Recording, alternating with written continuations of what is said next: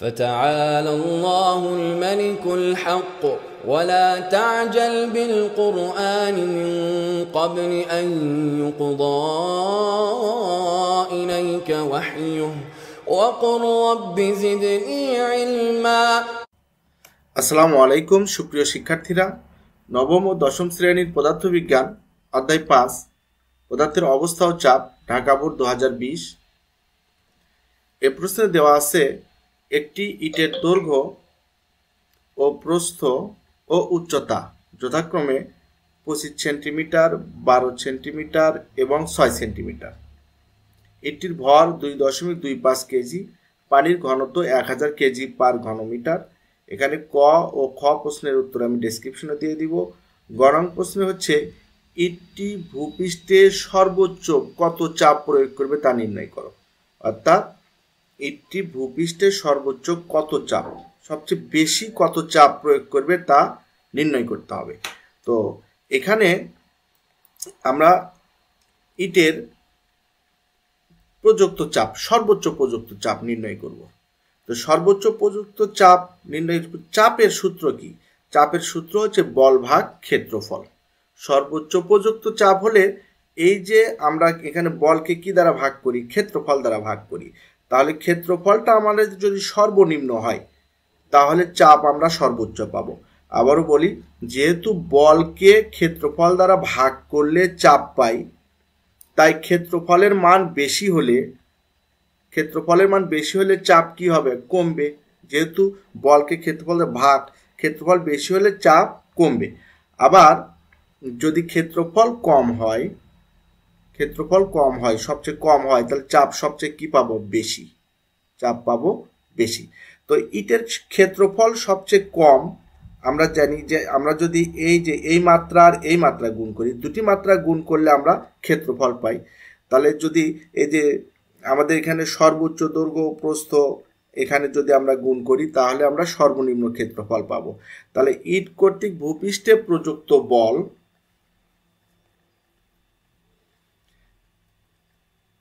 F আমাদের নির্ণয় করে নিতে হবে। যেহেতু এখানে বল আমাদের নাই, তাহলে বল এফ ইকুয়াল কি জানি? এমজি বল এফ ইকুয়াল এমজি তাহলে ইটের ভর ইটের ভর এম দেওয়া আছে দুই দশমিক দুই পাঁচ কেজি। আর অভিকর্ষ স্তরণ আমরা জানি নয় দশমিক আট মিটার পার সেকেন্ড স্কোয়ার। এটা গুণ করলে আমরা পাবো হচ্ছে ইট কর্তৃক প্রযুক্ত বল এফ এর মান। এফ ইকুয়াল তাহলে দুই দশমিক দুই পাঁচ আর নয় দশমিক আট গুণ করলে আমরা পেলাম বাইশ দশমিক শূন্য পাঁচ নিউটন। এখন ইটের ক্ষুদ্রতম তল দয়ের ক্ষুদ্রতম তল দুইটি থাকে এই পাশে একটি এই পাশে একটি। তো আমাদের যে কোনো একটা নির্ণয় করলেই হলো আমরা যদি এটা নির্ণয় করতে চাই এই ইটের আমাদের কি কি আছে?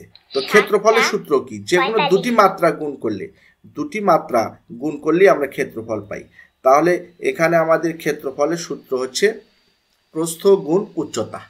আমরা এখানে প্রস্থ আর উচ্চতা কেন গুণ করব?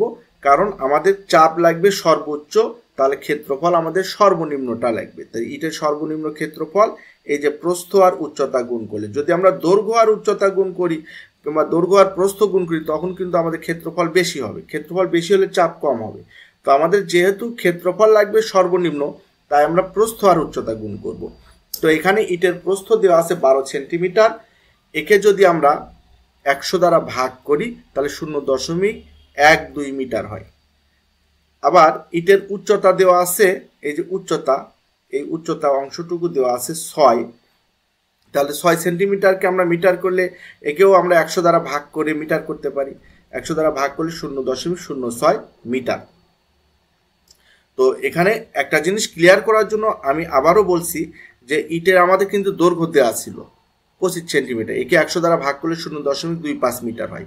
কিন্তু আমরা দৈর্ঘ্য আর প্রস্থ গুণ করলেও ক্ষেত্রফল পাবো। এই যে আমরা বড় বড় ক্ষেত্রফল পাবো, কিন্তু এই ক্ষেত্রফল আমাদের লাগবে না। আবার আমরা যদি দৈর্ঘ্য এবং উচ্চতাও গুণ করি, তাও আমরা এই পাশের ক্ষেত্রফল পাবো। এই যে আমি কালার করছি, দৈর্ঘ্য আর প্রস্থ গুণ করলে এই পাশের ক্ষেত্রফল। এটাও কিন্তু আমার বড় ক্ষেত্রফল। আবার দৈর্ঘ্য আর প্রস্থ গুণ করলে আমরা এই ক্ষেত্রফল পাবো। এটাও কিন্তু বড়। কিন্তু এখানে সর্বনিম্ন ক্ষেত্রফল বা সবচেয়ে ছোট ক্ষেত্রফল কি হবে? আমরা যদি ইটের প্রস্থ আর উচ্চতা, এই যে সর্বনিম্ন দুটি মাত্রা, অর্থাৎ ছোট দুটি মাত্রা যদি আমরা গুণ করি, তাহলে আমরা সর্বনিম্ন ক্ষেত্রফল পাবো। তাহলে সর্বনিম্ন ক্ষেত্রফল পেলে আমরা সর্বোচ্চ চাপ পাবো। তাহলে এখানে আমরা কি কি গুণ করব? প্রস্থ এবং উচ্চতা গুণ করে নিব। তো এই প্রস্থ এবং উচ্চতা গুণ করলে আমাদের ক্ষেত্রফল বের হবে। তাহলে ক্ষেত্রফল কত হলো? সাত দশমিক দুই গুণ করলে into ten to the minus three বর্গমিটার ক্ষেত্রফলের একক বর্গমিটার। এখন এই মানগুলো আমরা বসিয়ে দিব। আমরা বল বের করছি বাইশ দশমিক শূন্য পাঁচ এবং ক্ষেত্রফল, সর্বনিম্ন ক্ষেত্রফল বা ছোট ক্ষেত্রফল আমরা বের করলাম সাত দশমিক দুই into ten to power minus three বলকে যদি আমরা সর্বনিম্ন বা ছোট ক্ষেত্রফল দ্বারা যদি এই ছোট ক্ষেত্রফল দ্বারা যদি আমরা ভাগ করি, তাহলে চাপ পাবো সর্বোচ্চ। তাহলে বাইশ দশমিক শূন্য পাঁচকে আমরা ক্যালকুলেটার ব্যবহার করে সাত দশমিক দুই ইন্টু টেন মাইনাস থ্রি দ্বারা ভাগ করলে পাই তিন হাজার বাষট্টি দশমিক পাঁচ প্যাসকেল। এটি হচ্ছে ইট কর্তৃক ভূপৃষ্ঠের সর্বোচ্চ চাপের মান। এর পরের প্রশ্ন আছে দেখো ইটটির সাথে সম আয়তনের এবং চারশো কেজি পার ঘনমিটার ঘনত্বের একটি কাঠের টুকরো জোড়া লাগিয়ে পানিতে ছেড়ে দিলে এটি পানিতে ভাসবে না ডুবে যাবে গাণিতিকভাবে বিশ্লেষণ করো। তো এই যে ইটটির সাথে, ইটের আয়তনের সাথে আরও সম আয়তনের চারশো কেজি পার ঘনমিটার ঘনত্বের কাঠের টুকরা আমরা জোড়া লাগাবো। এতে দেখব যে ইটের গড় ঘনত্ব বা ইট এবং কাঠ সহ, ইট এবং কাঠ সহ এর গড় ঘনত্ব, পানির গড় ঘনত্ব থেকে বেশি হয় না কম হয়, না সমান হয়? যদি সমান হয়, তাহলে পানিতে নিমজ্জিত অবস্থায় ভাসবে। যদি এই যে কাঠ জোড়া লাগানোর পর ইটের ঘনত্ব, গড় ঘনত্ব যদি কম হয়, তাহলে আংশিক নিমজ্জিত অবস্থায় ভাসবে। আর যদি কাঠ জোড়া লাগানোর পর ইটের গড় ঘনত্ব যদি পানির ঘনত্ব বেশি হয়, তাহলে ডুবে যাবে। তো আমরা ঘনত্ব নির্ণয় করেই এটা প্রমাণ করব। পানির ঘনত্ব যেহেতু আমরা জানি, এখানে দেওয়াই আছে এক হাজার কেজি পার ঘনমিটার আমরা কাঠের টুকরোর গড় ঘনত্ব বের করব। তো কাঠের টুকরো সহ ইটের, কাঠের টুকরো যুক্ত বস্তু বস্তু মানে ইট, এখানে ইট ছিল আমাদের সম্ভবত। ইট না? ইটই তো ছিল। এত কাঠের টুকরা জোড়া লাগিয়ে, ইটটির সাথে হ্যাঁ ঠিক আছে। ইটটিকে আমরা বস্তু বলতে পারি। তো কাঠের টুকরা যুক্ত বস্তু বা ইটের গড় ঘনত্ব আমরা কি হবে? আমরা ঘনত্ব রো ইকুয়াল কি জানি? ঘনত্ব রো ইকুয়াল আমরা জানি ভর ভাগ আয়তন। ভর ভাগ আয়তন। তো এখানে আয়তন হবে যেহেতু ইটের আয়তন ভি আছে, একে দুই দ্বারা গুণ করে নিতে হবে। টু ভি টু ভি আচ্ছা আবারও আমি বলি যে আমাদের এখানে ঘনত্বের সূত্র হলো এম ভাগ ভি তো এম হচ্ছে এম আমি আগে ঘনত্ব আয়তনটা বলি, অর্থাৎ ভি হচ্ছে আয়তন। আয়তন এখানে আমাদের যে কাঠের টুকরোর আয়তন আছে ইটের আয়তন আছে ভি এর সাথে যোগ হবে আমাদের সম আয়তনের কাঠের টুকরো। তার মানে এটা কি হয়ে যাবে? টু ভি হয়ে যাবে। আর ভরটা হবে আমাদের যে ইটের ভর আছে, এর সাথে যুক্ত হবে কাঠের ভর।